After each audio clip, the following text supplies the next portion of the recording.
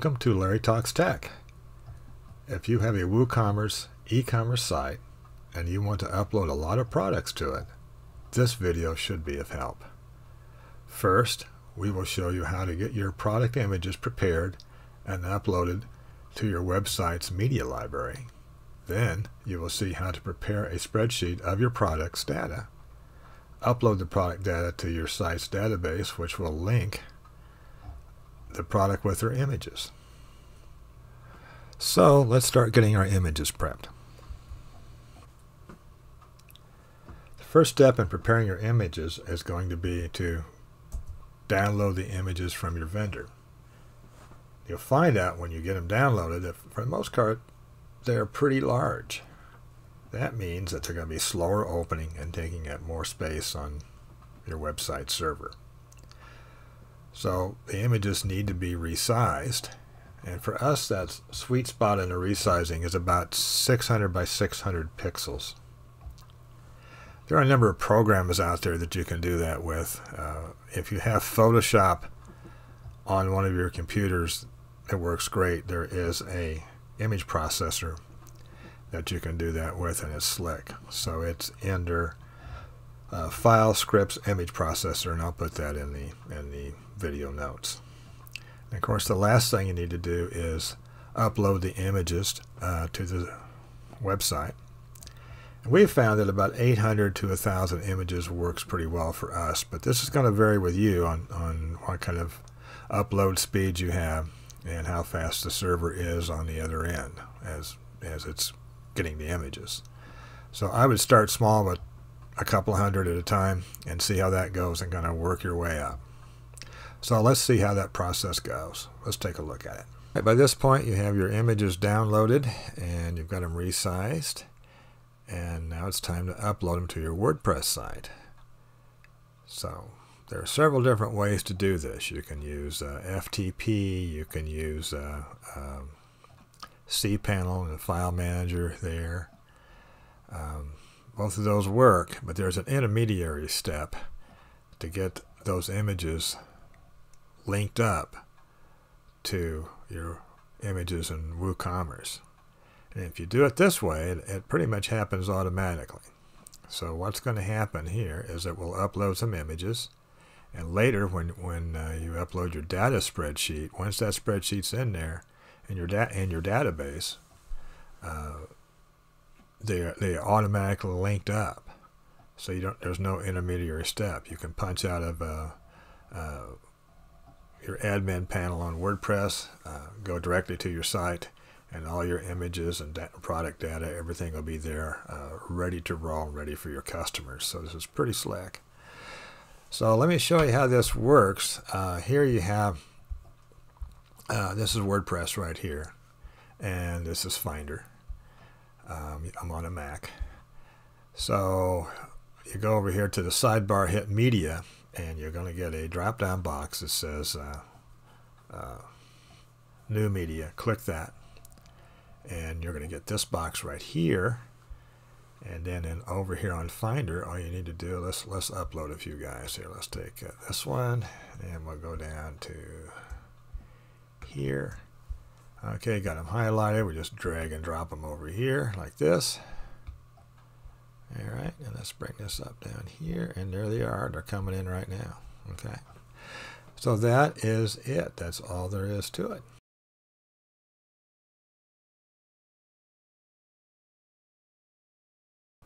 So what we have in front of us is where I usually start the process at is putting column headers into a blank spreadsheet.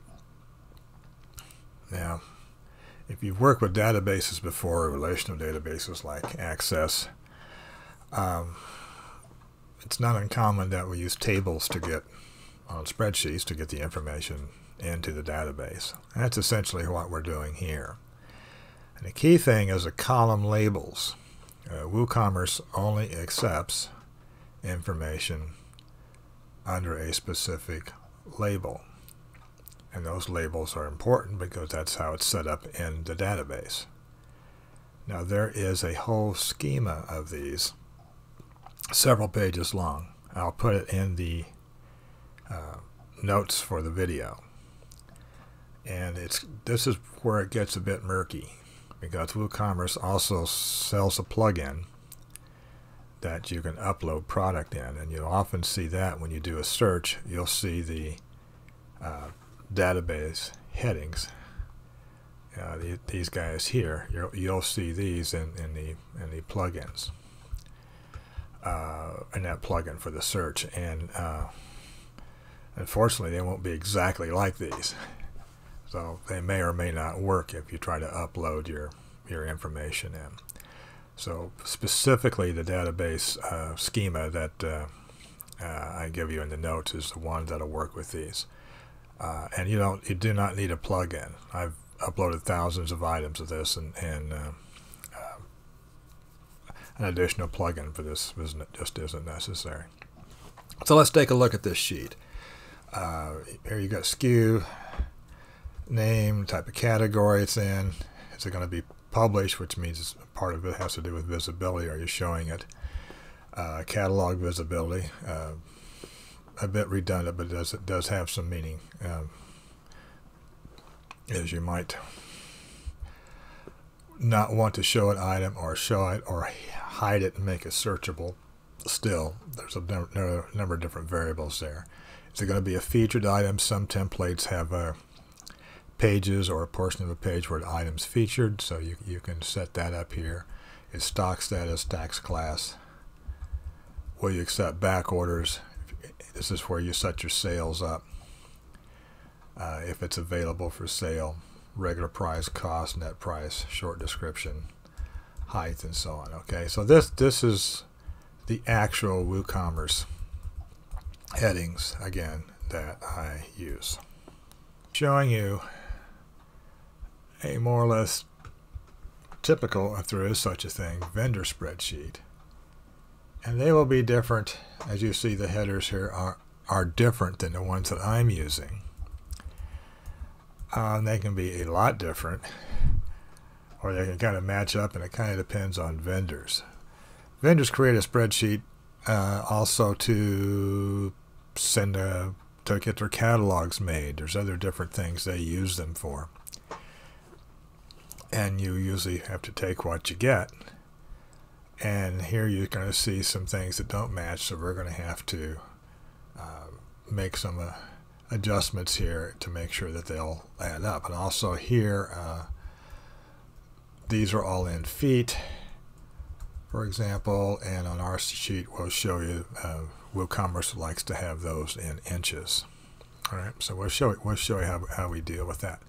So basically, uh, again, when you get something from a vendor, if, if don't expect it to to just meld in perfectly with what you have. That would be a perfect world, and we're a long way from that in, in this part of the venture.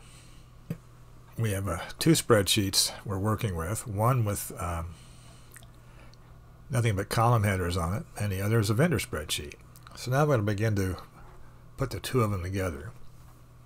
And what I like to do is take items in the columns or columns themselves and just copy them over to this, this spreadsheet. And here there's not many of them that I can use independently, so I know that I'm going to have to add columns and do some different things. So I'm just doing this is just kind of a well a quick way to uh, get some of the columns filled.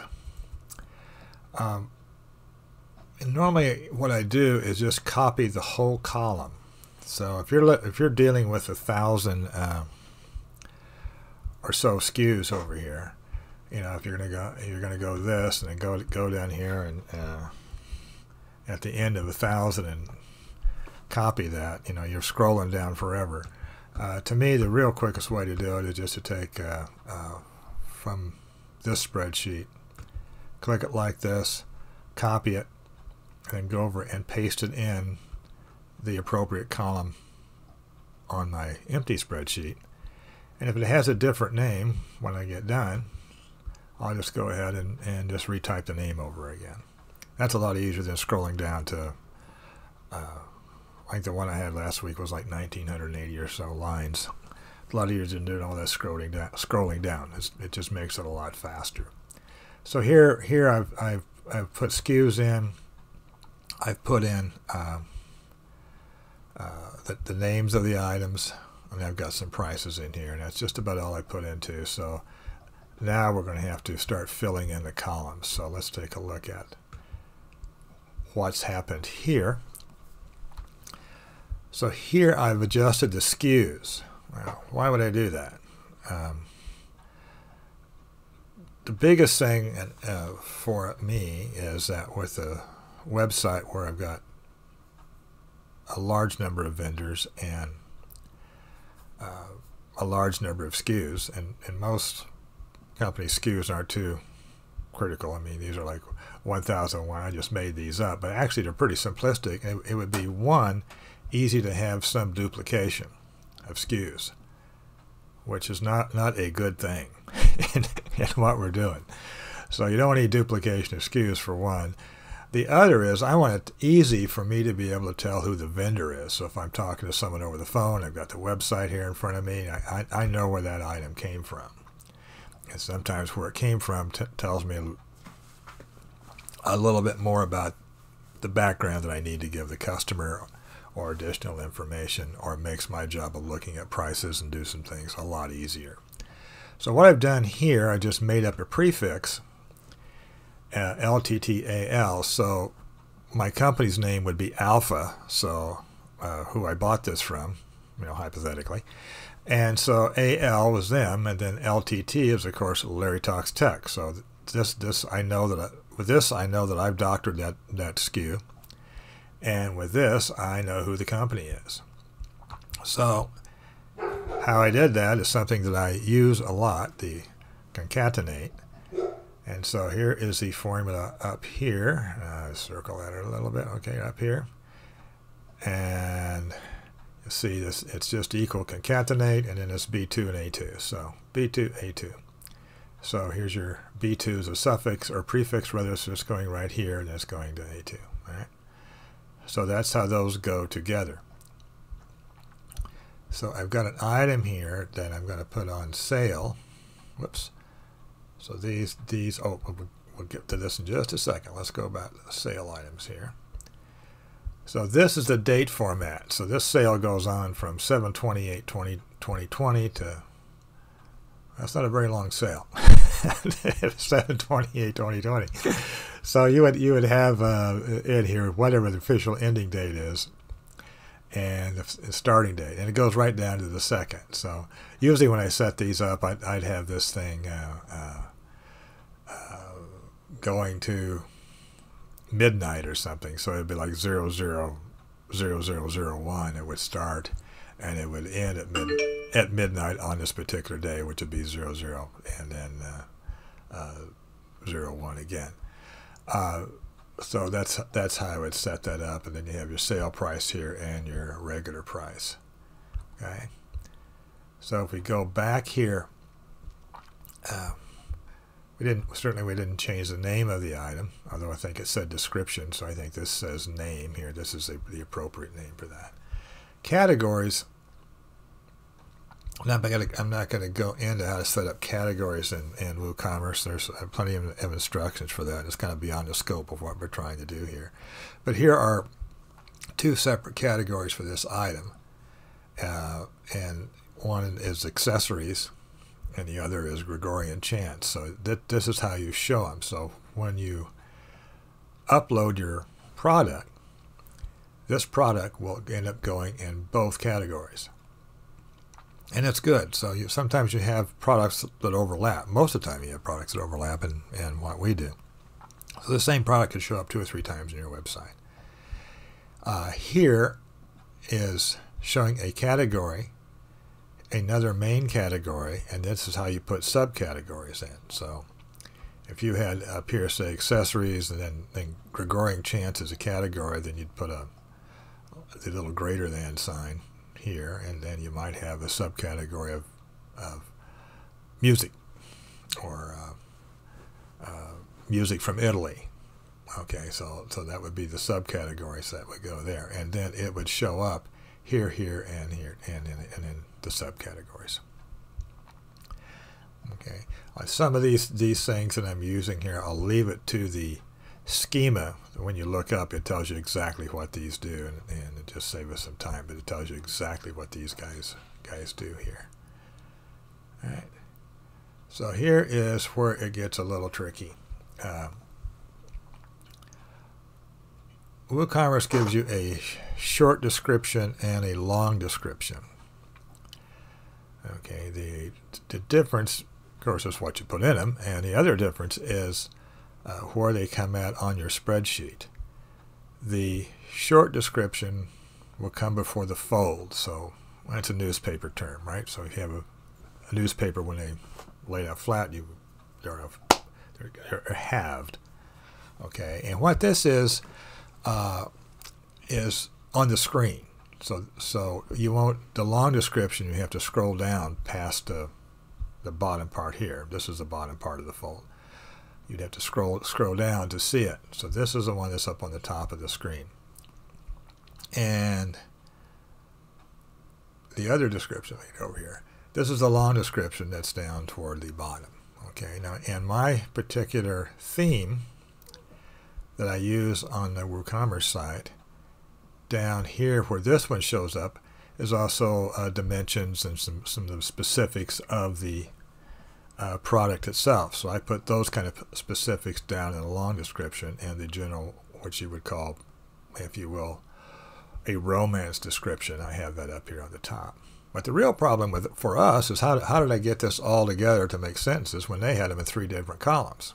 Okay. So it's kind of like concatenate, only different. right, so here's what this is. So you got these guys here. And to get them together, here's a short description. I, I use a uh, formula that's a, it's a text join. And the critical pieces here for this discussion uh, uh, comes in this first piece where the quotes are. Uh, in there you can put things like commas, periods. If, if there was no period after any of these and they just spaced them off, which sometimes that happens, uh, then you can fix that. Remember, you're dealing with thousands of items, so you don't want to have to go in and individually have to edit, you know, uh, items that you've put on there. You want, you want one time to get this done. If you're trying to edit issues singularly with several thousand of items, unless you have, you, that's going to take, well, a, lot, a long time, a very long time, uh, and more patience than I've got. So, so uh, uh, the, the quotes are there for to give you spaces, commas, things like that. Here I didn't need any, I just need spaces. So when I copy when these things become melded in together, uh, you need to have a space between the end of the period. So that's all I did here. So that's quotation, space, quotation. Then over here is just the range of things that you're bringing in. So columns SU and S3 was the range of the ones that I brought in here. So here's, there you go. So it's these columns here were, were brought over. All right. So that's how those got together. And then for the long description, it was exactly the, get over here, exactly the same type of format, only uh, obviously the columns were different. So text join is, is uh, pretty fast. If you've got multiple columns, it's, it's great. Uh, just as a side, if you haven't worked with these before, WooCommerce could care less about this. I usually clean these up before I do the upload, but WooCommerce will see as you as you upload these things. Old SKU, it'll tell you, oh, not going to take that. Prefix, not going to take that. SKU, like that. That's coming. You know, so it'll tell you. So so uh, uh, you know, don't worry about leaving that stuff on there. I just take I would take all delete all this stuff off because I may go back and use this thing for reference. I don't need all this stuff uh, confusing me. you know, a year from now, I want to be able to come back to this thing and know exactly what's going on. So I, I'd knock all this stuff off of here before I upload it. But so there you go. So if you're into WooCommerce wants, wants inches, of course, you just take and multiply these times the feet times 12, and then and then you get your your inches in here. And so this is that's really no big issue. Now, the last tricky bit is images. Uh, images could almost be a whole post by itself here in, in the vlogging category. Uh, again, there's not consistency between vendors how they do these things. Uh, and I don't know that there could be. So I mean, they they've got diff- they have different needs than what I have. So uh, what I end up doing is doing some concatenating here. Typically, as I look at, at the images that I'm uploading, I'm trying to see what kind of pattern they're using when they're using multiple images for a product. So that pattern could be uh, 1001-A, 1001-B, 1001-C. Sometimes it's uh, 1001 underscore hero, and then the second image uh, would be uh, 1001 underscore right, which is a right view of the item, and then the third image might be 1001 underscore left, or so on. So I take a look at that pattern, and then I don't worry. Some images might have three items for it. Some might have five. Some might only have one. I don't really care. I'm, uh, uh, again, I'm dealing with thousands of images here, so I'll, I'll take the SKU, copy it over, and uh, then take the image, or rather the image type, and attach it to the SKU. Now this does not need to have my prefix on it. Okay, I'm, looking over here at the, at the C column, so I don't want to confuse you here. So all I did to get to this um, area here was was put the SKU, this the unaltered SKU, which is uh, get over here real quick. This one, okay, and then I combined it with this two, and then the JPEG, and came up with this, okay, or over here came up with this, and that that's how these things got put together. But I the theory behind this is then I would take and just run all these down to uh, in numerical order how how they would have done their images. Most images do have something about the SKU, thank God, in there.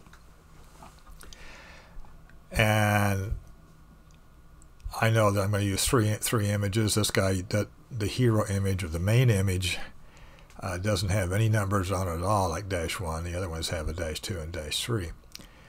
And I know that there's some of these items won't have a 2 or a 3 or may only have a 3 not have a 2 and, and I'm still going to put this in here. So they're all going to look like this all the way down. That's my point. When I upload them, I'll let WooCommerce decide if, if, if it doesn't see this, it won't put it in there. Okay, so it's not going to go in the database because there's nothing there to put in. It has nothing to relate it to. It'll come up in a some report after the upload, it'll tell me uh, 1002-2 did, did not have any any image. All right, that's okay. I know that, but it's easier to to let them do that than have me go through 2,000 lines and try to pick out which which ones are you know going to go up and which ones aren't. So I hope what I say, said makes sense, but uh, uh, then then all you're all you're doing here is just just copying this down. So if you have any any questions about images, please put them in the comments here, and I'll get back to you and, and uh, square this out. But it, this saves me a ton of time. And then you're just doing the text join once you have all this stuff set up like this in these three columns. Uh, you go back and do the text join. So now this comma separates each image and is telling WooCommerce that these we we have these images on file so you go ahead and, and, and connect them with the product data in the database. All right. And, and if there's anything missing here, WooCommerce will go, oh, okay, don't have it. No big deal. All right. And that's how that works. And then you have all your images uh, uh, done. All right. So at the end of this, what I would do would be immediately save this as a uh, different format. All right, because I now have numbers and all this sort of stuff in here and formulas in here, and WooCommerce is not liking that. So it's got to be in a text format. So we'll show you how to do that. Okay, so now we have our spreadsheet here with all of our columns and we're all we've got numerical things at different sort of formats here and, and we've got formulas in there. And once again as we said our our friend WooCommerce is only going to take this as text and here's probably the quickest way to do that. Take your spreadsheet go file. For us we'll do save as and let's just save it into you probably wouldn't do this, but for the sake of our discussion, we'll save this to the download folder. And we'll just call this uh, test one. Okay. And whether you're using Excel or, or one of the open office uh, variants, uh, you'll see a window down here, and you'll this is pretty common text CSV. Click that and then that's going to get that to a text format. You hit save, and of course, uh, LibreOffice wants me to, to use their format, and and uh, I don't need to do that, so I use use text. The Unicode, field delimiters, everything, just leave all of this alone. Everything is fine. This is pretty much standard, and then you hit OK. All right. Okay, now that's done, and that's all there is to it, and now it's ready for uh, WooCommerce, or if you want to, you can delete some of these columns off here that, that you do not need, and then uh, get it ready for the upload. So we'll show you how to upload it here in, in a moment. Okay, I'm on the WooCommerce site now, and I want to apologize. There are, uh, this is my commercial site, and there's a lot of things here I did, really don't want the whole world to, to see, so I've had to cut some of the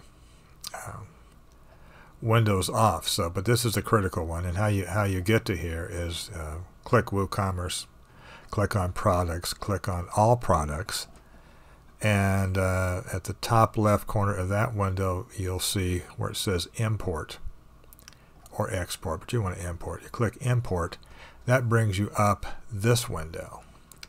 In this window, I've already gone here and it says choose the CSV file for your upload and I have chosen test1 CSV which which we did uh, just a few seconds ago. And this is a spreadsheet that we've been working on. And I'm going to stop here before I hit continue. This one on new product that you're uploading you, you don't have to do this at all.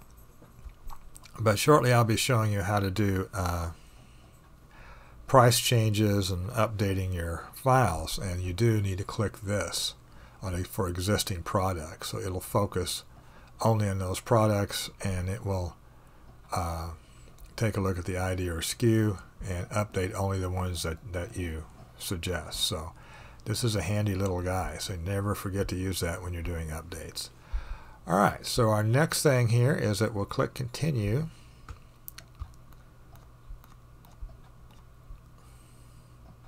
said, there we go.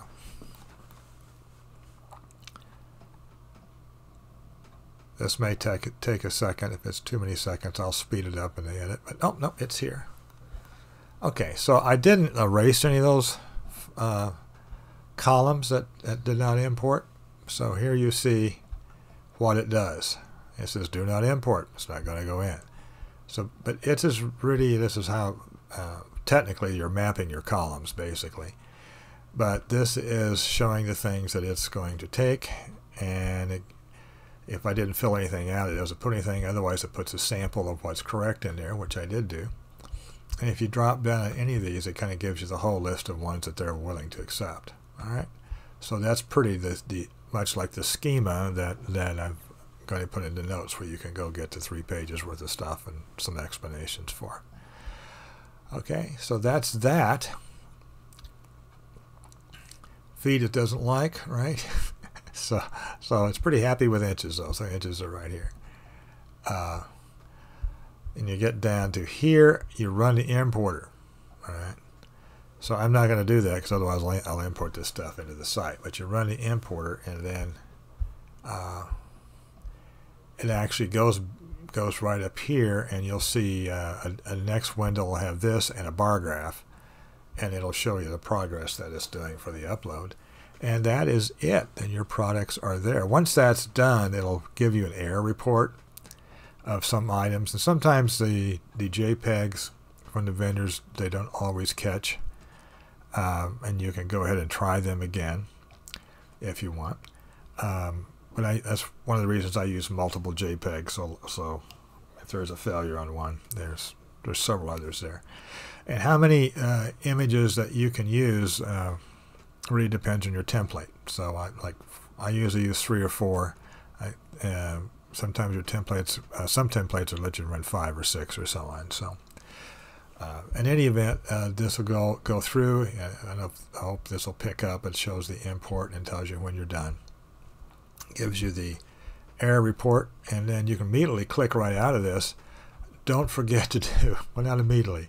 If you're using a cache uh, on there like uh, uh, WP Fastest Cache or, or uh, W3 Total Cache or whatever cache you have, clear your cache and also clear the cache for your browser. Because sometimes your new items won't show up because because they're still feeding information from the cache. So clear your caches and then uh, punch out of this, go to your uh, uh, website as a customer, and your, your new product should be there. All right. Well, I hope this was helpful.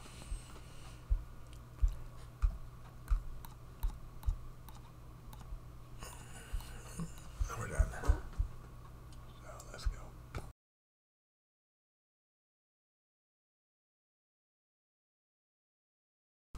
Well, it's great having all these items on your site, but it's also uh, could be a bit tricky to maintain them. Imagine uh, in retail in retail stores where I've worked in, we'd have you know every few weeks four or five thousand different items we're changing prices on. Uh, online, fortunately, it's a lot simpler than that. And uh, here is an example of how price changes actually work. Remember, a, a website is a at its core is basically a database with a graphic user interface on it. And your SKU uh, becomes your key in, in your database. So everything relates to SKUs. And with that, as long, as long as everything lines up here, all you have to do for a price change, these are the new prices that go in. And these are the three items that are going to have their prices changed. So you would just put these in here and upload this into the site and prices are changed. Now on this next, uh, matter of fact, you could do both of these at the same time if the need brought itself about. But just say hypothetically you don't see this right now. If you want to add uh, some items that say, you know, you have all different types of vendors, some are huge corporate conglomerates and some are a guy and his Uncle Fred working out of the garage. And the guy and Uncle Fred working out of the garage isn't going to have these items ready for a, a long time. Uh, he's sold through and he has to make a bunch more. You're talking six months from now. And you don't want to keep having them on the, on the site because people are going to be trying to buy them and you're going to tell them, no, I don't have them. And even if you have zero stock on hand, they'll call you, has any of those came in? So, so anyway, the easiest way to do that is just to hide them, say hidden. So in catalog visibility, you, you can say hidden. And then when Uncle Fred and the guy works in his garage uh, and gets those things back going again, you you just go back and upload these as visible and bang, they're right back on the site again. Now this one would let you hide them, but also uh, let you search for them. And there might be reasons why you someone might want to do that. Uh, it could be that you're just finding want to have some information about the item. They're curious, so you know they could use this and search for the item on your site and it would come up. Where here it would not come up at all. They, they use this SKU. This item's not going anywhere. So no one's going to see it. So that's a little bit of a way to update your your items. There are, are a few tricky things with maintaining a WooCommerce site. And uh, one is, to me, I've not found a satisfactory way of bulk deleting product. I know there's some plugins out there, and I'm, um, to say I've looked at them, I'm not comfortable, at least, at least for my usage, if that works out well. But, but uh, uh, so mostly I'm hiding a lot of stuff. Uh, images are the same way. Images are very tricky because it, it doesn't allow you to update an image. So there are some things that I wish WooCommerce would give us more flexibility on. But that's anyway. That's at the time I say this, and as far as I know, neither of those things are are are pluses. But beyond that, it's uh, pretty rock solid in terms of, of uh, certainly what we've used it for. In any event, that's how you, that's how you do some maintenance on the items. I hope that that was was helpful. There's one more thing I want to mention. Uh, WooCommerce has a problem, or has had problems, with interpreting numbers with commas in them. An example would be on your spreadsheet you have put something that's $1,000 and uploaded it and it, you've had a comma in there. When WooCommerce interprets it, it interprets it as like a dollar. That's not good. So, so uh, the workaround for this is, is fairly simple when you do your format uh, for your cells. Uh, you'll see a place there uh, uh, where there's a box typically you check to turn the commas on or off. and you just want to turn them off. So when you enter $1,000 on your spreadsheet, it'll just it'll be a 1 and 3 zeros. Not to worry, when you upload it, WooCommerce will put the comma back in. Now, this problem may have been fixed uh, a couple of versions ago. I just uh, uh, don't want to have to reload a bunch of stuff if it hasn't been fixed. So I, I, just by autopilot, I just take the commas off when I format and then I don't have a problem. So I share that with you. The last thing I want to say is the things that I've shown you here are things that uh, have worked for me and, and processes that I've I use and I've refined and, and made them as effective as I could. But that doesn't mean that they're the best out there. So some of you have done this longer than me or have a different approach. And if you see anything that we've uh, shown here today that uh, uh, is an improvement or another angle or another way to do this, please share it in our comments section so we can share it with everybody. You know, I don't claim to be the, the a uh, guru on this. I'm just, uh, again, I'm just working from my own experience, probably pretty much like most of you have. So if you see anything different here or, or something that uh, uh, you think, hey, you know, you might try this, please let me know and uh, put it in the comments section. And also if you have any questions or wasn't clear on something, do that too and I'll do my best to help you out. All right, well that, that wraps this up as they say. I hope this was helpful to you. Don't forget to like and subscribe to us if you want to. We'd, we'd sure like to have you uh, checking our videos as they come out. And uh, Thanks for stopping by Larry Talks Tech. Y'all take care.